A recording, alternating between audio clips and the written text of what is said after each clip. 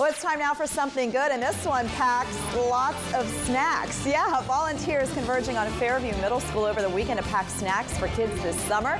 They call it a full summer. 270 volunteers, 9,000 snack packs in one hour. All these packs are going to go to agencies that serve children over the summer, places like the Boys and Girls Club and Capital City Youth Services to make sure no kids go hungry. That group also raising more than $40,000 toward that goal. A full summer now in its 12th year. Way to go, everybody.